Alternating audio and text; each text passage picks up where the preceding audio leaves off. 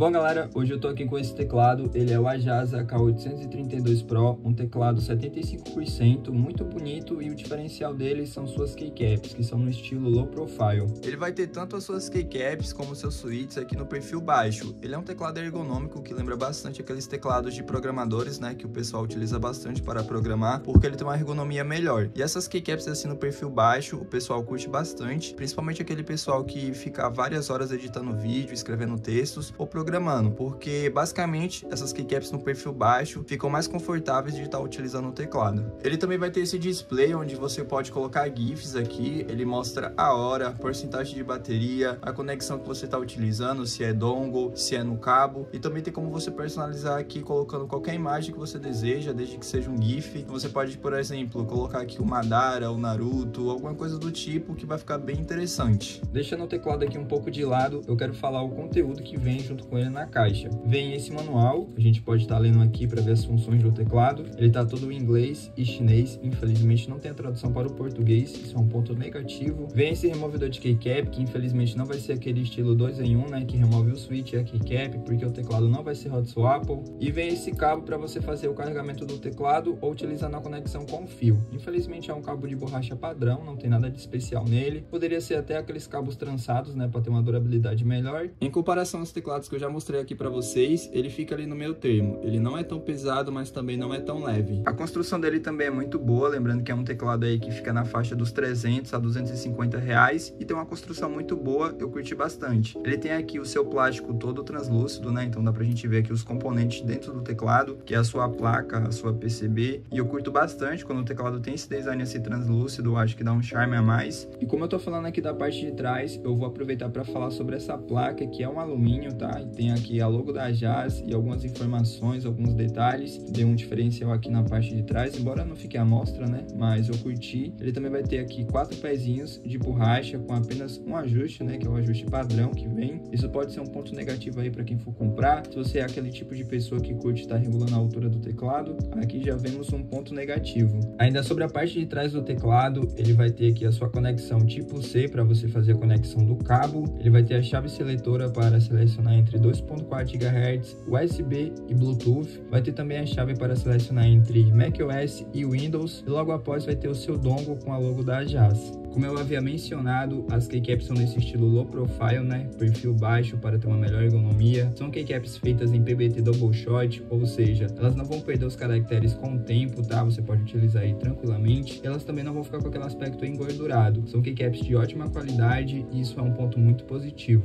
Infelizmente, eu encontrei dois pontos negativos aqui nesse teclado. O primeiro é o seu switch, ele vem equipado aqui com switches Altemo Brawl. Eu não curto essa marca, no meu ponto de vista, são switches aí de baixa baixa qualidade, né, que geralmente dão muita dor de cabeça e eu não curto. E o outro ponto negativo é que o teclado não é hot swap, ou seja, você não vai conseguir trocar os switches caso der defeito. Você vai ter que fazer uma mágica ou abrir o teclado e tentar soldar outro tipo de switch ou ficar com um teclado assim danificado. Um teclado não é tão caro, tá? Ele custa aí 300 a 250 reais, mas nessa faixa de preço aí eu esperaria que fosse pelo menos switches Ruanos ou switches Gateron, mas botar switch Altemo aqui quebrou o teclado demais Lembrando que essa é a minha opinião sincera sobre o teclado, tá? É, mas caso você queira adquirir o teclado tranquilo, você pode comprar sim, mas fica ciente que são switches Altemo e ele não é hot swap, então você não vai conseguir trocar o switch caso dê problema.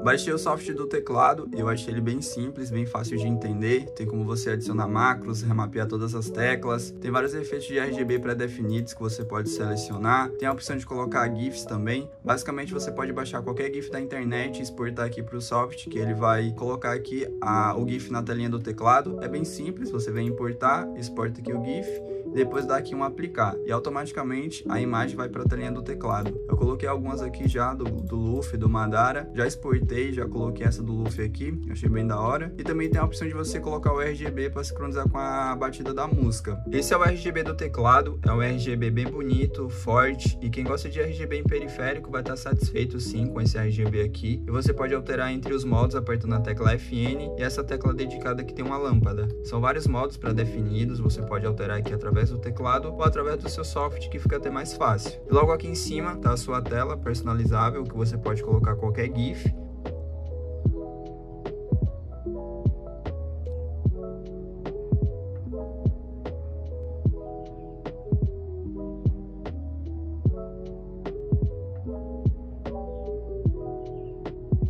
Qual é a minha opinião sobre esse teclado? É um teclado razoável, aceitável. Não espere aqui o melhor teclado do mundo, mas ele é sim um teclado bacana que dá para você utilizar. Eu indico esse teclado principalmente para quem vai trabalhar home office, editor de vídeo e que é um teclado assim nesse estilo low profile. Eu indico ele para essas funções, eu acho bem confortável o uso dele aqui para editar vídeo, fazer roteiro. Eu utilizei ele bastante para isso. Eu achei bem confortável, curti bastante esse estilo de teclas low profile, né? Agora para jogos eu não curti muito, tá? Eu achei desconfortável dá sim para jogar, mas eu prefiro os teclados convencionais para jogos. Essa telinha aqui eu gostei bastante, tá? Isso me ganhou, chamou bastante a minha atenção, né? É bem legal você colocar qualquer GIF animado, porém eu acho que eles deveriam investir no switch no lugar de tela. Eles colocaram aqui uma tela, né, para chamar a atenção do pessoal e poupar o dinheiro aqui, o orçamento no switch. Se esse teclado tivesse aqui switch de boa qualidade, como os Gateron ou os Ruanos, eu iria indicar ele 100% para vocês, mas, né, o fato de ser Altemo e não ser Hot Swap, a gente meio que fica com o pé atrás. Então eu só vou indicar esse teclado aqui para você que está querendo comprar um teclado para trabalhar home office, assim, tipo uso básico. Aí sim eu indico ele. Se você quer um teclado assim mais robusto, né? Se você é entusiasta e quer algo melhor, eu indico você ir procurar outro teclado, tá? Comprar um teclado melhor. Esse daqui foge porque, cara, possa ser que sim dê dor de cabeça para você, mas se você é um usuário normal que não se preocupa tanto com, tipo, ah, switch nem nada do tipo, lá, pega, né? Você vai usar para trabalho, mas fica ciente que ele tem esses defeitos aqui aqui, que é switch ao temo e não ser removível. E bom, galera, o link do teclado vai estar tá na descrição e de tudo que está aqui no meu setup também, mas se você ficou com alguma dúvida, pode deixar nos comentários, tá? Que eu vou estar tá respondendo todo mundo. Esse foi o vídeo, eu vou ficando por aqui, eu vejo vocês na próxima, fui!